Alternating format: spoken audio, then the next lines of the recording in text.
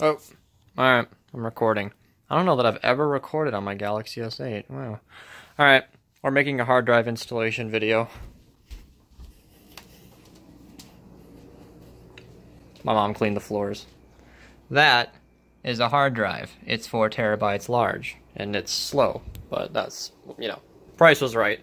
Only $100 off a Newegg. And uh, I need to put it in my system. The monitors are off because I turned it off. This mouse pad could keep a small child warm at night, but that's not what's important. This thing needs to come out. So I'm gonna unplug all of that, take this thing off, and then uh, move it into a, a kitchen. You guys ready for some grade A ingenuity? What? No, I'm making a video.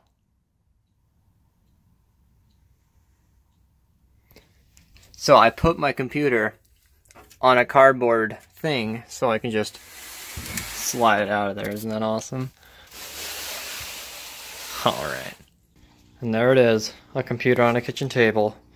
Now we just gotta take the side panels off and uh, take out one of these little slots. See, it's gonna get a little tricky because you see I have a single fan in there blowing across all of my drives but these two are empty. Oh, this one's just a box with stuff that came with my case, but uh, yeah, so it won't get as much airflow, but I really don't think it's going to matter because it's just a hard drive.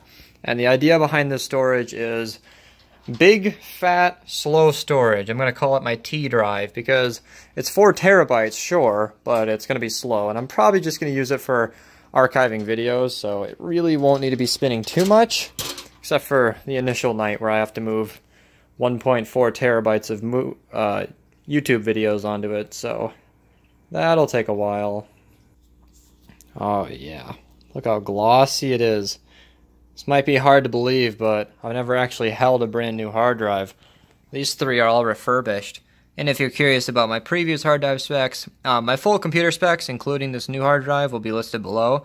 But, and I'm not actually sure which ones. These bottom two are 3 terabyte, and this top one's a 2 terabyte. So this 4 terabyte should fit in nicely. And because I have these nice sliding things, I can just pull this out, and then hopefully with one hand, just kind of get it on there. To have to slip it in. Get the little pokers into the hole. That's what she said. And... Uh, okay, I can't do it with one hand. That's also what she said. Alright, now that it's in there, just uh, click it into place. Now I need a SATA cable. Alright, we yeah, that's not a screwdriver. We got a SATA cable. I need to plug it into the back. And then I gotta move this into here somehow. And then theoretically, we should be able to plug it into a motherboard, but um, that's a little bit easier said than done. Because I'm not actually sure where this went. So, oh, I found it. Alright, I'm gonna have to snake this in there. Your big hand is in the way. We got the click. It's in there. Alright. Now I gotta plug it in with the back.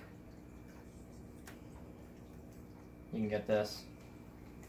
So we have, I think I have two more of these open in my motherboard, and one of these should be able to just plug in right there. And that should be it. That was admittedly a lot easier than I thought it would be. And theoretically, this should work. So I just need to now get the side panels on properly, and then discover the drive on Windows, name it, and then move a bunch of files onto it. Hopefully my mother's camera work has been satisfactory. So, this cardboard wasn't just an ease of life situation.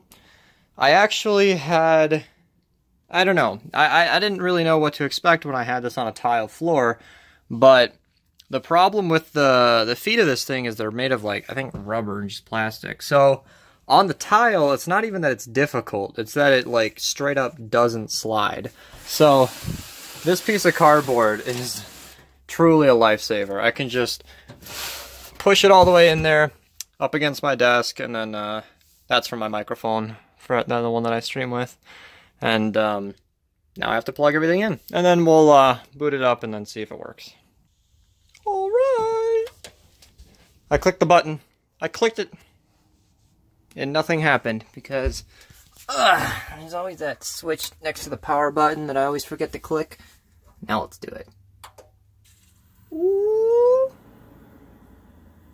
You know what? I actually think it already worked because uh, that sounds like another hard drive.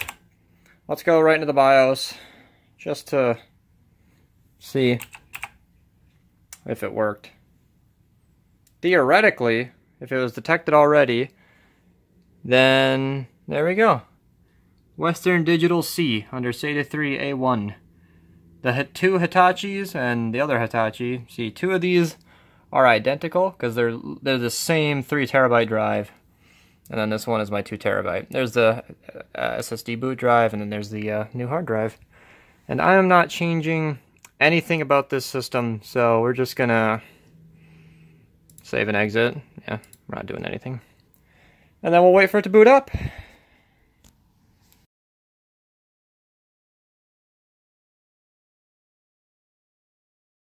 You know, that window is really having a hard time trying to breathe. It would open it up a lot more if I just moved that aside.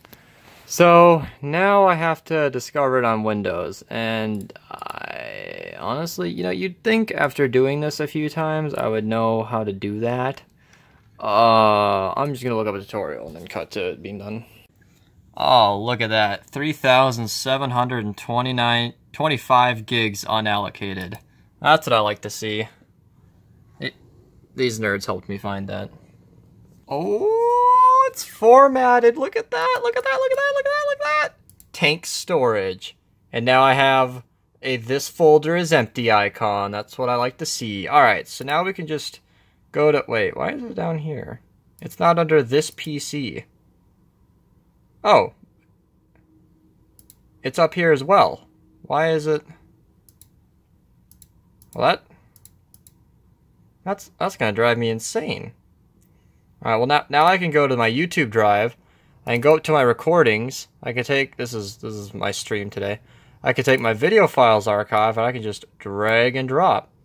That's a 1.4 terabyte folder. So see you tomorrow. Okay, but like actually that's kind of it. As far as I'm aware or concerned, this drive is now functional. Um, really don't know why it's appearing twice down there. I might try to tinker with that off camera, but this was really just supposed to be a quick installation video. I uh, hope you guys enjoyed this little video. Uh, this has been a successful drive installation. Thank you for watching.